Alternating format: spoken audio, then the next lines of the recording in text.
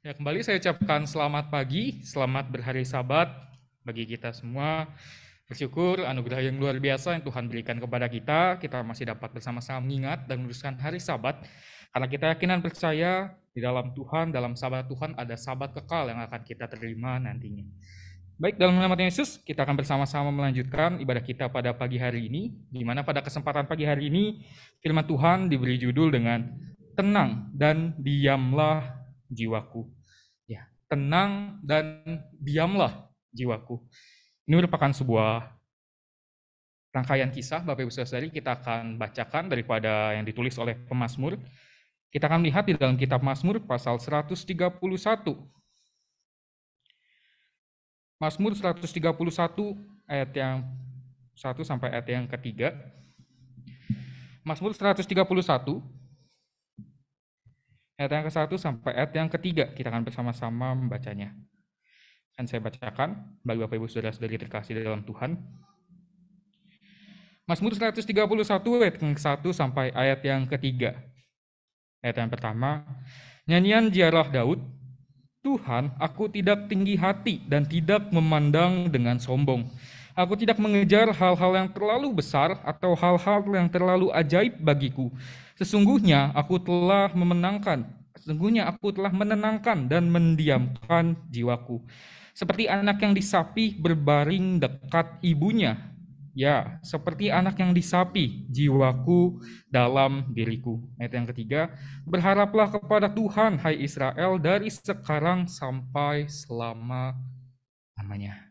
Di Tuhan, setelah bersama-sama baca kitab Mazmur 131, Di mana kalau kita melihat Mazmur 131 menurut catatan orang tradisi orang Yahudi ya Bapak Ibu Saudari ini merupakan sebuah rangkaian kisah juga mengenai ujian yaitu Mazmur ziarah.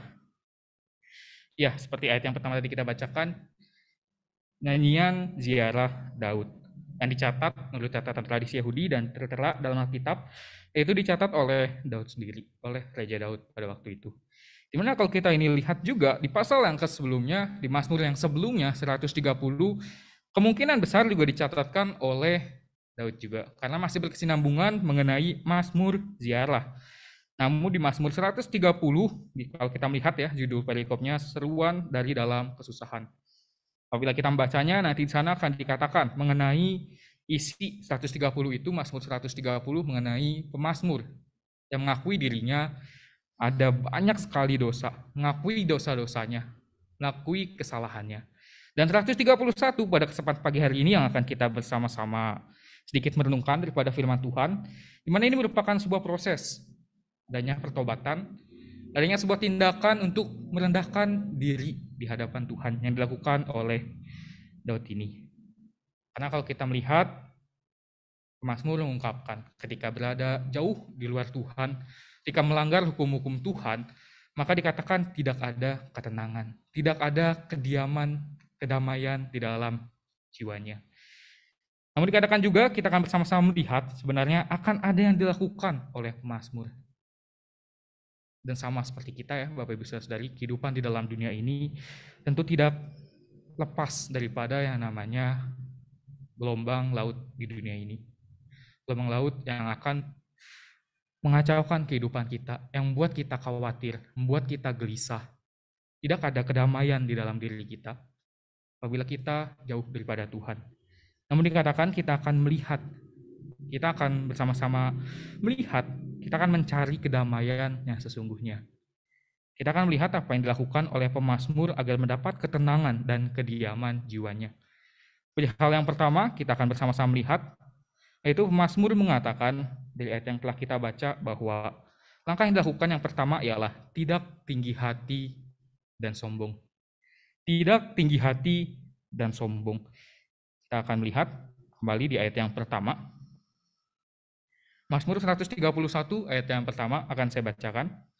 Akan saya bacakan kembali. Nyanyian ziarah Daud. Tuhan, aku tidak tinggi hati dan tidak memandang dengan sombong. Kita cukup sampai di ayat yang A pertama terlebih dahulu. Dikatakan Tuhan, aku tidak tinggi hati dan tidak memandang dengan sombong.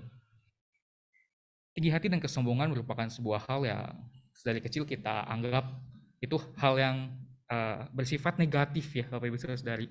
Karena dari kecil kita dididik maupun kita di sekolah, di dalam sekolah kita diajarkan untuk tidak sombong.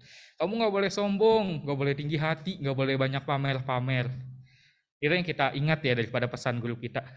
Di dalam lingkungan keluarga pun juga sama. Bahkan dari kecil kita dididik untuk tidak memamerkan mungkin pintaran kita, kita tidak memamerkan apa yang kita miliki, kita tidak memamerkan apa yang kita bisa secara terang-terangan kepada orang banyak.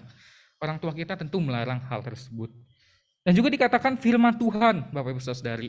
Firman Tuhan mengatakan, Mazmur mengatakan, Tuhan aku tidak tinggi hati dan tidak memandang dengan sombong. Hal ini dilakukan oleh pada pemazmur, dilakukan oleh Daud oleh sebab firman Tuhan melarang yang namanya tinggi hati dan kesombongan.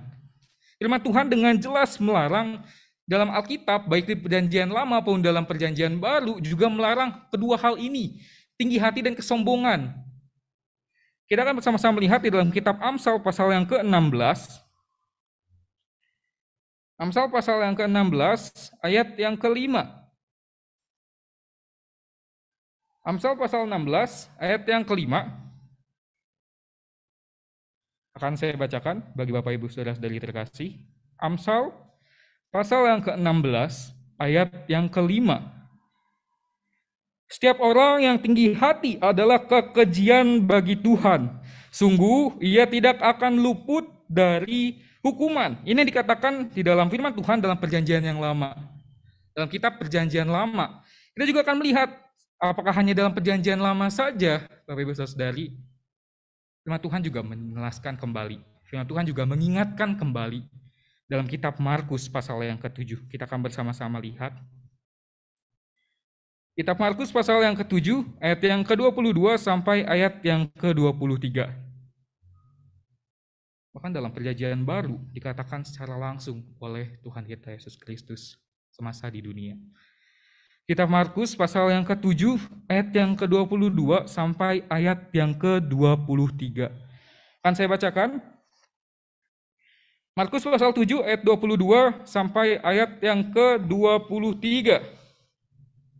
Ayat yang ke-22, perjinahan, keserakahan, kejahatan, kelicikan, hawa nafsu, iri hati, hujat, kesombongan, kebebalan, semua hal-hal jahat ini timbul dari dalam dan menajiskan orang. Sebuah salah satu perintah ya. Ada banyak sekali situ dikatakan hal-hal perintah daripada Allah. Kalau secara perikop, perintah Allah dan adat istiadat Yahudi. Dijelaskan oleh Tuhan. Hal-hal yang najis yang dari dalam diri seseorang. Yang timbul dari dalam diri seseorang. Dikatakan ada perzinahan, ada keserakahan, ada kejahatan, ada kelicikan, ada hawa nafsu, ada iri hati, hujat, dan dikatakan juga di sana terdapat kesombongan. Nah, di mana dikatakan oleh Tuhan Yesus semua hal jahat ini timbul dari dalam dan menajiskan orang. Menajiskan. Sedangkan posisi kita ketika sudah berada di dalam Tuhan, jadi pengikut Tuhan, Bapak Ibu Saudari, seharusnya kita menjadi kudus. Karena apabila didapati hal-hal yang timbul dari dalam diri manusia ini, kesombongan, maka dikatakan kita akan menajiskan diri kita, akan menjadi najis. Artinya apa? Kita kembali terpisah dengan Allah. Allah yang kudus, yang seharusnya kita sudah berada di dalam Allah, kita ikut menjadi kudus, kita terpisah kembali. Oleh karena apa? Adanya kenajisan tersebut. Oleh sebab itu Bapak Ibu Saudari, pemazmur Daud pada saat itu menuliskan lagu yang begitu indah, nyanyian ziarah, mengingat kembali jika ia berada jauh, jauh di dalam Tuhan, jika ia ingin berbalik kepada Tuhan. Hal yang pertama yang ia lakukan ialah dia mengatakan, tidak tinggi hati dan sombong. Tidak tinggi hati dan sombong. Oleh sebab apa? Tinggi hati dan kesombongan akan mendapatkan celaka akan mendapatkan hukuman dikatakan dalam kitab Amsal. Dan di dalam kitab perjanjian baru, dalam kitab Markus mengatakan akan menjadi najis. Terpisah daripada Allah.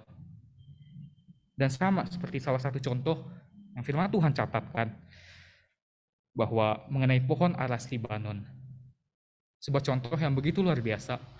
Kita akan bersama-sama sedikit melihat kisahnya bahwasanya ada salah satu seorang tokoh yang mengalami kejatuhan. Akibat apa? Akibat kesombongan dan tinggi hatinya. Perumpamaan mengenai pohon aras Libanon. Kita lihat di dalam kitab Yehezkiel pasal yang ke-31 Yehezkiel pasal 31 ayat yang kedua sampai ayat yang ketiga dan kita akan lanjutkan di ayat yang ke-9 Yehezkiel pasal 31 ayat yang kedua sampai ayat yang ketiga dan kemudian ayat yang ke-9 akan saya bacakan bagi Bapak Ibu Saudara-saudari Yehezkiel pasal 31 ayat 2 sampai 3 dan kemudian ayat yang ke-9.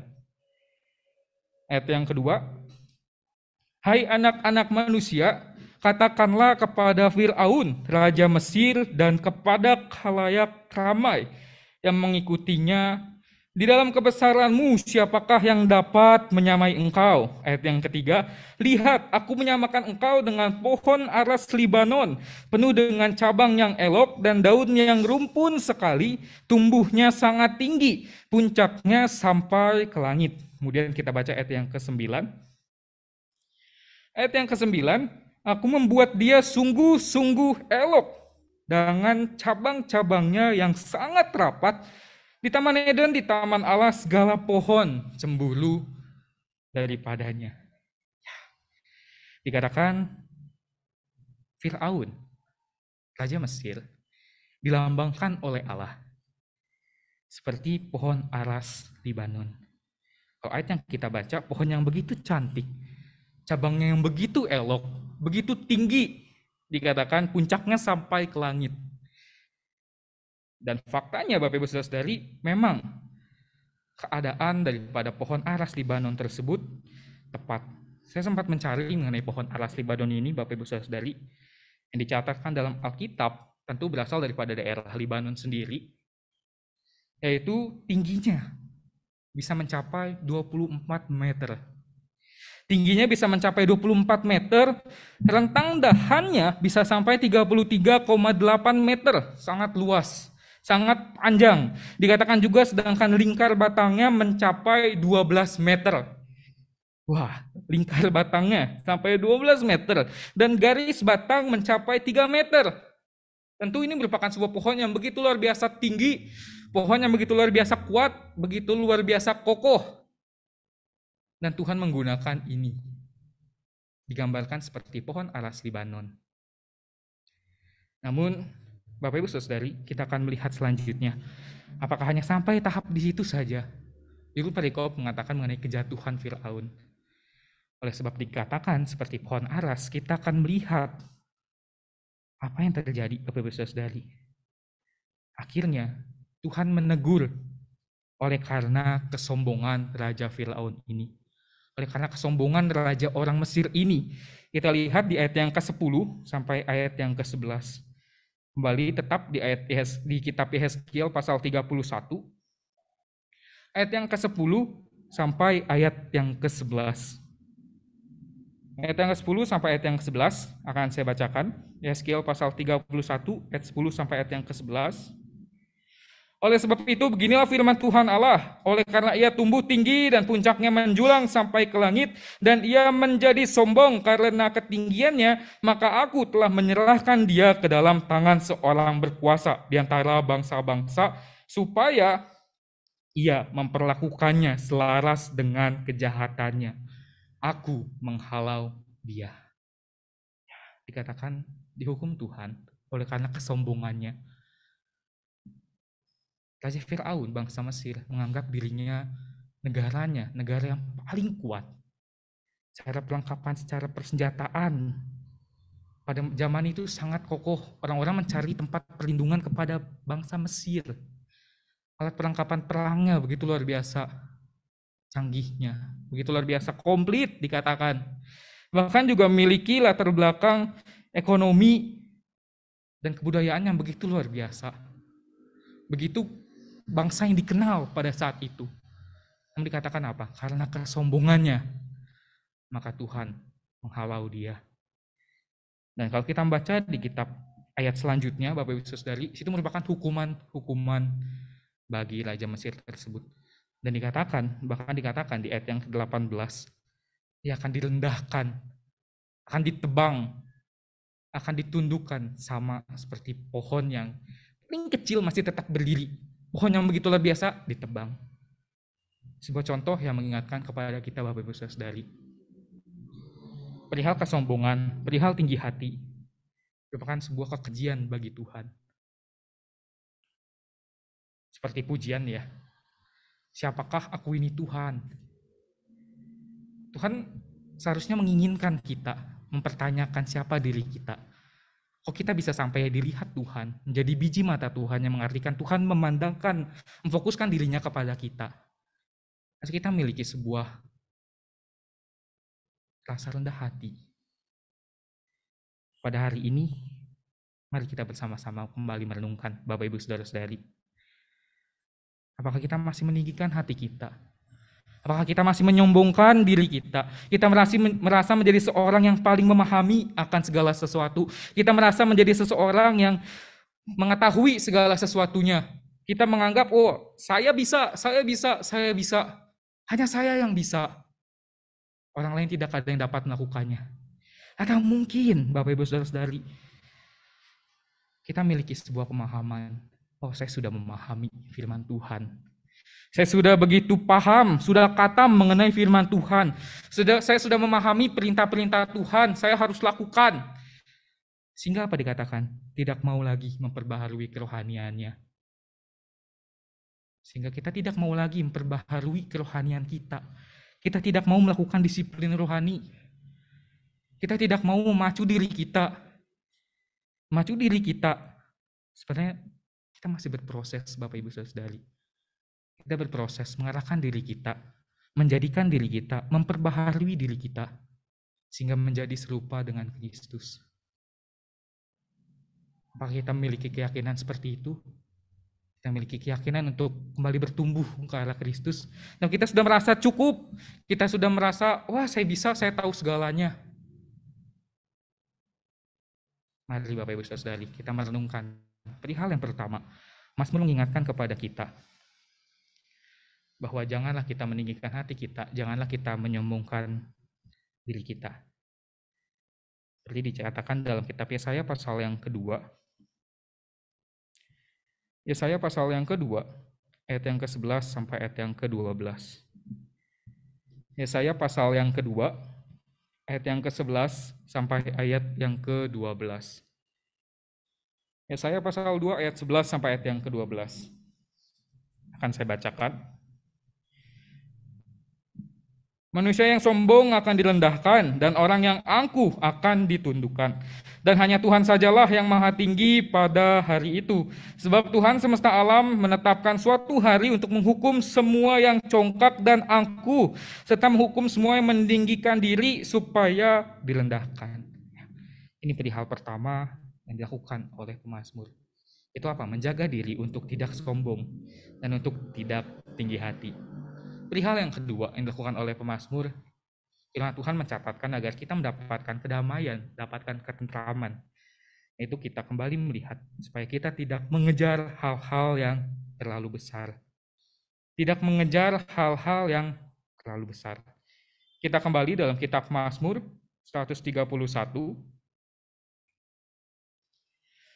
Mazmur 131 kita kembali lihat di ayat yang ke-1, bagian yang B. 131 ayat yang pertama, bagian yang B. Akan saya bacakan kembali. Aku tidak mengejar hal-hal yang terlalu besar atau hal-hal yang terlalu ajaib bagiku. Perintah yang selanjutnya, Mazmur mengatakan, Daud mengatakan, Aku tidak mengejar hal-hal yang terlalu besar. Tidak melakukan sebuah hal-hal yang terlalu sulit. Tidak berfokus kembali kepada itu semua. Padahal pada waktu itu, sebelum Daud mengalami kejatuhan, yang memiliki kuasa, yang memiliki wewenang, Dia juga dikatakan orang yang cukup berhikmat, bahkan orang yang berhikmat juga dalam mimpin umatnya. Namun dikatakan ia tidak lagi memandang itu semua. Ia tidak mengejar hal-hal yang terlalu besar. Firman Tuhan mengatakan jangan jangan mengejar kembali ya hal-hal yang terlalu besar atau hal-hal yang terlalu ajaib bagiku. Dengan demikian apakah firman Tuhan melarang untuk kita sebagai umat percaya di dalam Tuhan untuk tidak memiliki cita-cita, untuk tidak memiliki ambisi, untuk tidak kembali memiliki visi misi dalam hidup kita supaya apa? Supaya kita bermegah, supaya kita dapat kalau bahasa anak muda zaman sekarang ya, supaya masa depan kita tidak suram. supaya tidak madesu ya, masa depan suram. Melainkan apa? Kita berusaha untuk masa depan kita menjadi cerah. Apakah firman Tuhan melarang itu semua? Tentu tidak, Bapak Ibu Saudara-saudari. Firman Tuhan tidak melarang kita untuk memiliki cita-cita. Firman Tuhan tidak melarang kita untuk memiliki ambisi yang besar juga. Namun, pada kesempatan pagi hari ini, Pemasmur Daud mengatakan, mengingatkan kepada kita, firman Tuhan mengingatkan kepada kita, supaya apa? Untuk tidak berfokus kembali kepada itu semua. Untuk tidak kembali berfokus kepada, wah 10 tahun ke depan saya akan melakukan ini, 20 tahun ke depan saya akan melakukan ini, sehingga saya akan mendapatkan masa depan yang cerah. Sehingga kehidupan keluarga saya tidak seperti saya. Tidak, tidak lagi berfokus kepada bagian itu. Dan memiliki ambisi yang hanya satu tujuan dalam kehidupan ini hanya masa depan itu saya harus kejar. Ambisi itu harus saya tanamkan. Semangat itu Mazmur mengingatkan kepada kita Bapak Ibu, untuk kita tidak terlalu berfokus, tidak lagi mengejar hal-hal yang terlalu besar. Bukan melarang, namun kita mau melihat, kita mau mengubah mindset kita. Apakah dalam visi misi kita itu, apakah dalam ambisi kita yang besar itu ada kemuliaan bagi nama Tuhan? Apakah menghasilkan buah bagi Tuhan? Apakah kembali meninggikan nama Tuhan? Atau justru hanya sesuai dengan kehendak kita sendiri? Hanya untuk kepentingan diri kita sendiri? Tidak menghasilkan buah bagi Tuhan? Tidak memberikan dampak kepada sesama kita? Mazmur mengajak kita dalam hal ini Bapak Ibu Saudara-saudari. Mengajak kita untuk seturut dengan kehendak Tuhan tidak lagi mencari kepentingan diri sendiri kita. Bukanlah hal yang salah kita memiliki cita-cita. Namun seperti yang dikatakan oleh Rasul Paulus, Rasul Paulus dikatakan dia tidak lagi memandang hal tersebut. Kita akan bersama-sama melihat dalam kitab Filipi pasal yang ketiga. Filipi pasal yang ketiga, ayat yang ke-13 sampai ayat yang ke-14. Filipi pasal 3 ayat 13 sampai ayat yang ke-14. Akan saya bacakan bagi Bapak Ibu Saudara-saudari. Filipi pasal 3 ayat 13 sampai ayat yang ke-14. Saudara-saudara, aku sendiri tidak menganggap bahwa aku telah menangkapnya, tetapi ini yang kulakukan, aku melupakan apa yang telah di belakangku dan mengarahkan diri kepada apa yang ada di hadapanku dan berlari-lari kepada tujuan untuk memperoleh hadiah, yaitu panggilan surgawi dan dari Allah dalam Kristus Yesus. Dikatakan Rasul Paulus tidak lagi menganggap bahwa oh ya sudah menangkapnya, menangkap kerajaan, menangkap kebenaran tersebut, menangkap nanti kerajaan surga tersebut memenangkan keimanannya, sudah mencapai dalam tahap yang sempurna. Tidak dikatakan masih berusaha. Namun dikatakan sebuah statement yang begitu luar biasa. Aku melupakan apa yang telah ada di belakangku. Kehidupan Rasul Paulus sebelum percaya kepada Tuhan Yesus Kristus. Bahkan dikatakan masih menjadi seteru Tuhan. Ini merupakan seorang yang terpandang. Seorang murid daripada Gamaliel pemahaman hukum Taurat yang begitu luar biasa sempurnanya. Ia juga memiliki kewarganegaraan orang Rum atau orang Roma yang tidak sembarangan orang Yahudi dapat menerimanya. Dikatakan juga pada waktu pengeksekusian daripada Stefanus, Rasul Paulus mengizinkan, artinya apa? Dia memiliki kuasa juga pada saat itu Kalau kita melihat kehidupan secara dunia yang begitu luar biasa, enaknya ya. Pendidikan ada, pendidikan yang sangat baik. Kehidupan di dalam dunia dikatakan enak karena sudah seperti punya kuasa, punya kepintaran juga. Sudah tidak lagi memikirkan hal-hal seperti itu.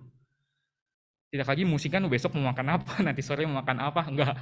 Kalau mau makan ya tinggal makan, istilah katanya. Kamu dikatakan ketika Rasul Paulus sudah berada di dalam Tuhan, dia mengatakan melupakan yang ada di belakangnya. Oleh karena apa? Dia menemukan sebuah hal yang lebih penting yang ada di hadapannya. Bapak Ibu Saudara, yaitu apa? Untuk menerima pengharapan daripada Tuhan, menerima janji daripada Tuhan. Bahkan dikatakan statement yang begitu luar biasa dalam kitab Filipi pasal 3 ayat yang ke-20. Akan saya bacakan dalam kitab Filipi pasal 3 ayat yang ke-20. Filipi pasal yang ketiga, ayat yang ke-20, karena keluarga negaraan kita adalah di dalam surga. Dan dari situ juga kita menantikan Tuhan Yesus Kristus sebagai juru selamat. Ya, mengarahkan diri ke depan. Untuk apa? Mengenggam kembali. Kembali bersatu dengan Allah. Untuk apa? Untuk masuk dalam kerajaan surga. Daripada contoh Rasul Paulus ini, kita dapat melihat ya Bapak Ibu Saudari. Bukanlah sebuah hal yang tidak penting kita miliki ambisi tersebut. Bukan. Oh berarti apakah nanti timbul pada kita? Berarti orang Kristen nggak boleh kaya dong? Enggak, bukan. Orang Kristen nggak boleh hidup damai sejahtera dong? Bukan. Tidak seperti itu. Namun kita mau merubah mindset kita. Bahwa kita hanya fokus dalam kehidupan kita ini 100% untuk menggenggam masa depan itu. Mari kita bersama-sama memiliki sebuah sudut pandang masa depan kita, apakah kita jadikan sesuai dengan kehendak Tuhan, dapat menghasilkan buah bagi Tuhan. Suksesan kita nanti, apakah dapat menjadi berkat bagi saudara-saudari seiman kita, dapat memancarkan terang Kristus di sekitar kita. Dan inilah yang diinginkan oleh pemazmur Bapak Ibu Saudari. Dan apabila kita sudah dapat melakukan kedua hal ini, Bapak Ibu Saudari, kita telah bersama-sama tidak tinggi hati dan tidak sombong, kita tidak lagi memikirkan hal-hal yang terlalu besar atau yang terlalu ajaib bagi diri kita. Tidak berfokus kepada dua itu, maka dikatakan kita akan mendapatkan kedamaian dan ketenangan jiwa kita. Kita kembali dalam kitab Mazmur 131. Mazmur 131 ayat yang kedua. Mazmur 131 ayat yang kedua akan saya bacakan bagi Bapak Ibu Saudara-saudari. Mazmur 131 ayat yang kedua.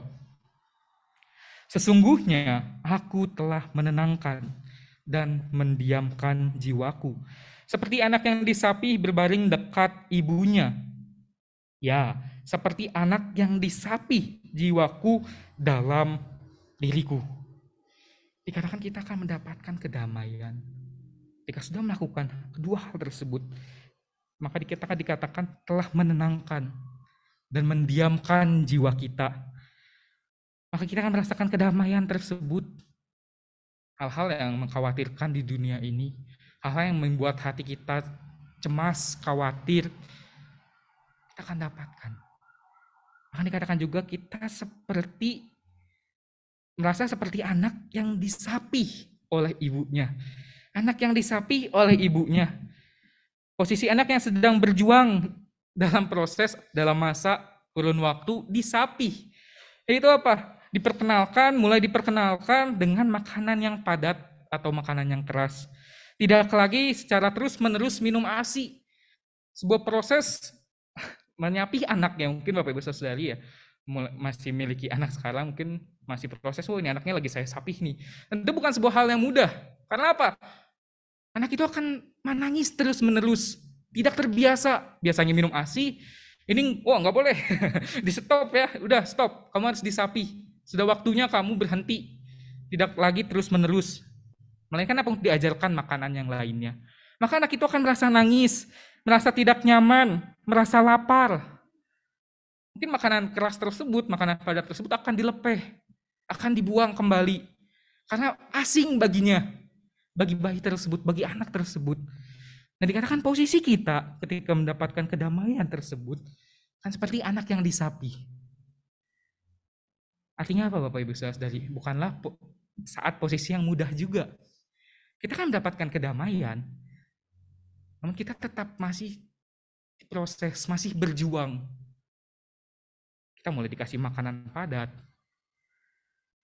kita tetap mengalami kecemasan. Namun, namun firman Tuhan mengatakan, seperti anak yang disapi berbaring dekat ibunya. Dikatakan tetap berbaring di dekat ibunya, yaitu menunjukkan apa? Ibu tersebut tetap melihat keadaan anak tersebut. Ibu tersebut tetap memperhatikan anaknya. Ibu tersebut tetap tidak lepas tangan begitu saja. Oh, anak itu nangis ya udah saya biarin, saya liatin aja dari jauh. Enggak. Tetap berada berbaring dekat ibunya. Ibunya tetap memperhatikan. Tidak dilepas begitu saja. Sama seperti kita berada dalam Tuhan. Jika kita menginginkan ketenangan dan kediaman jiwa kita, kita akan merasa seperti anak yang disapi. Jadi kita merasa tetap ada, kok saya tetap ada kecemasan, saya tetap ada rasa khawatir. Memang ada. Namun dikatakan ada seorang ibu tersebut, ada Tuhan Yesus Kristus yang tetap berada di samping kita, yang tetap berada di sisi kita tidak akan dibiarkan kita begitu saja menangis terus-menerus. Ini menunjukkan kita mau percaya sepenuhnya Bapak Ibu Saudara-saudari. Untuk mendatangkan, untuk mendapatkan ketenangan dan kediaman jiwa kita di tengah laut ombak gelora dunia ini. Yang begitu dahsyatnya, yang menakutkan bagi diri kita. Yang kita mau seperti anak yang disapi di dekat ibunya. Kita mau seperti anak yang disapih di dekat ibunya. Itu apa? Kita akan tetap diperhatikan oleh Tuhan. Kita akan tetap mendapatkan kedamaian dan ketenangan jiwa kita. Seperti dikatakan dalam kitab Mazmur pasal 62. Mazmur pasal 62. Mazmur 62 ayat yang kedua sampai ayat yang ketiga. Mazmur 62 ayat yang kedua sampai ayat yang ketiga. Akan saya bacakan.